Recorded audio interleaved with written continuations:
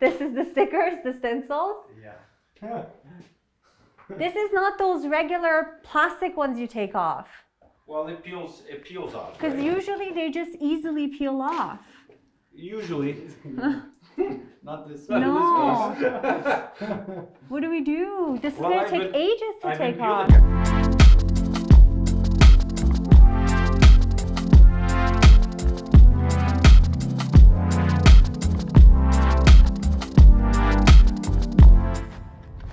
So we're en route to one of our uh, projects, actually. It's a beautiful condo in a very prestigious uh, neighborhood in Toronto, in Yorkville. It's pretty small. It's a two floor loft almost, and it's about a thousand square feet. And it's going for about 1.5 million. So we decided to do some work in there because if you're going to show a 1.5 million dollar condo unit, then it really needs to play the part. So I have my painters there right now and they have started today painting. So I just want to quickly go there and make sure everything is going smoothly. And uh, I'll do a walkthrough with you guys, explain what we're planning. And we're going to be staging it next week. Sanitize our hands.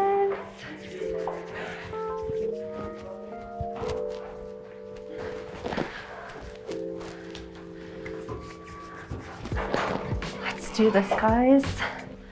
We're here. Whoops, wrong side. Always get it wrong, and I don't like it when they don't put signs. it's very misleading. Hello? Hello. Hello. Hey. Hi. What's going on? Working away. Good to see you. You too. So this is first of like four you're doing for us Yeah. in the next few weeks? Yeah. Okay, so this is our smaller one. We're doing CC20 on walls, doors, trims. What do they have now? Um, Some places look like know. it's it like doesn't really look. Looks yellowish. I'm gonna say sort of a CC40 probably. Not there. This kind of looks like it's like textured paint, It's no? like brick. Well, I think it's a brick. Because the way they've painted It's- it, it looks like it's highlighted, It's kind like, of. um, want to say wallpaper. Is it- like a veneer, right, right? Because you can see where the joints Yes. are, right? right. I see that. See Maybe leave this as an accent. the way it is. Right. Okay. Is there going to be, if we do CC beside this, CC20 is going to be a big difference? Oh yeah. There will Like be. compared to what's there now. Right. Oh yeah. Oh yeah. Okay. This I don't like. And it's part of the condo. They've done it here, they've done the barn doors, they've done this pillar here. This was like an add-on from the building, but I don't find it attractive at all. So we're doing all the walls here. That door you're leaving though, right? Yeah, the barn door. Yeah, Yeah, this guy we're not gonna paint. This is like a feature from the from the builder. In here, just plain white. Claude, you wanna go see upstairs? What's this one? Where's this from? Was That's it my paper. cover. Oh, oh, oh, oh, okay. that- I'm like, are you doing wallpaper somewhere? this is the stickers, the stencils. Yeah. This is not those regular plastic ones you take off. Well, it peels. It peels off. Because right? usually they just easily peel off. Usually. Not this one. No. This. What do we do? This is gonna take been- ages to I've been take peeling off. it, right? We've been doing what we can. And then this is all gonna be white, which is pretty close to a white right now. I guess it's like a, it's like a gray white. Oh, it's gonna look perfect when it's all light. Okay, so we're gonna do a little fresh paint in there. So guys, this is the master. And uh, it was a little bit of one of those rooms that you kind of have to stand in there for a little bit and go, hmm, what am I gonna do with this? Now, a couple pointers. When you're doing a master bedroom in any house, it's always important to show a king size bed for the principal room. And they had that here, even though it's a small room, it kind of has these divided areas that we're making good use of where there would have been dead space. We're actually going to be creating a little desk area in here, or it can be used like a vanity table with a chair or ottoman underneath. Before they had a shelf here with books and stuff and a nightstand, but I felt like since it's COVID and everybody's working from home these days, it'd be nice to show a little office space where none exists. So we're kind of creating that. So one of the reasons that I felt it was important to paint the unit, not to say that it was you know, really in, in bad condition. It's just that it needed a fresh up. So the walls had scuff marks, especially in higher, high traffic areas.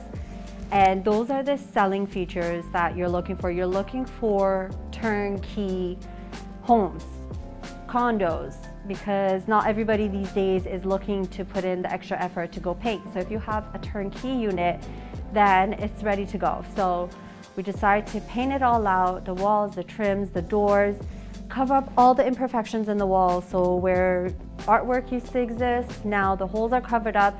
We put up art where needed and areas that we don't need it, we don't put it. And we don't feel the need to put it because it's all smooth walls, nice and clean looking, ready for the new buyers. Okay, this is interesting.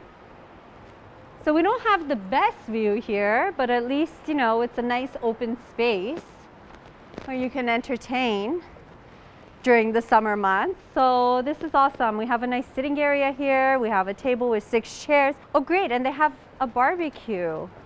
It's not gas line, so. All right, that's awesome. Good use of space. Felt like I needed to power wash the floors. My only concern was that downstairs there's another unit.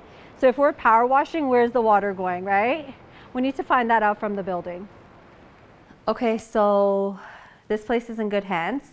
Claudio is gonna be done in a few days and then we're gonna have the cleaners come in, do a final clean.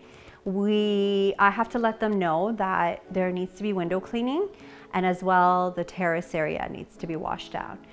And other than that, they're gonna do a deep clean inside and we're staging next week. So things are looking good. This is one of those last minute projects that we made it work for our client. They're super happy. We're super happy that we can accommodate them. Let's just get the place sold 1.5 million. Let's go. Okay guys, we're here at the staging project. Let's go see what's going on inside. So it's, it's a transitional house and was a little bit outdated, but uh, we changed some light fixtures, painted, and we chose like more modern, clean looking furniture. It's gonna look spectacular. Okay, so we're here for about 20 minutes or so before our next appointment. And my guys have gone to the warehouse for the second load.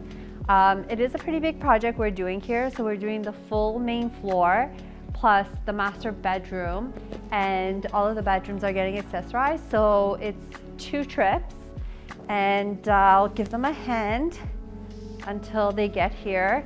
I think we're gonna have to think of something to do with this light because it's really off center with our table. And if we actually center it, if we center the table with our light fixture, we're gonna be way into the living room and that's gonna be a big no-no. My favorite chairs. Can't tell you how many of these we have sold. It's just been an ongoing event. Uh, Seb, is there a leaf coming for the dining table? Okay, so this is gonna get extended because right now this is too small.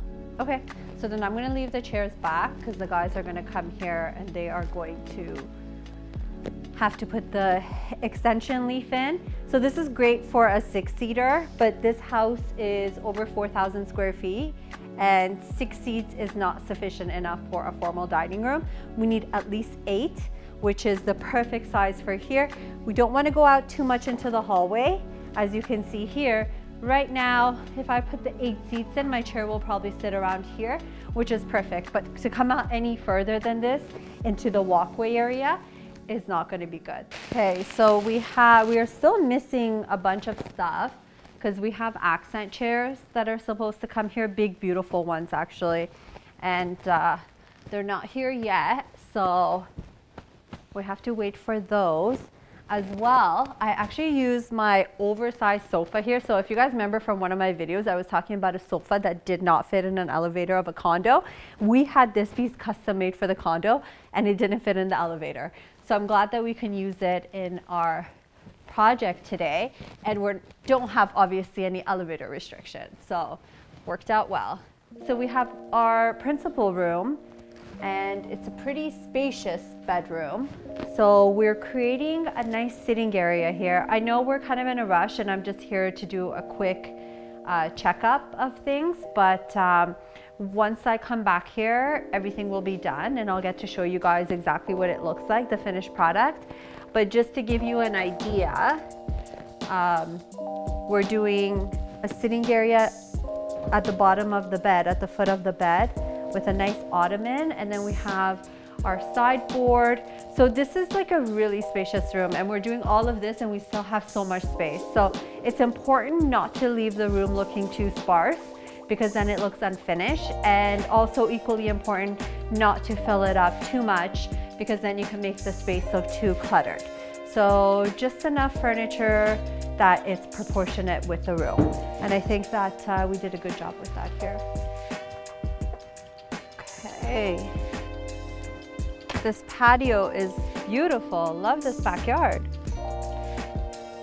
Oh, this is so cozy. I mean, if it was nicer weather and it wasn't raining, could totally sit out here and relax and enjoy this beautiful space. So we have a nice sectional, some little seating on the side. They have a little shed here. That's super cute. Love the tree. It's a great property. Sure, it's gonna sell in no time.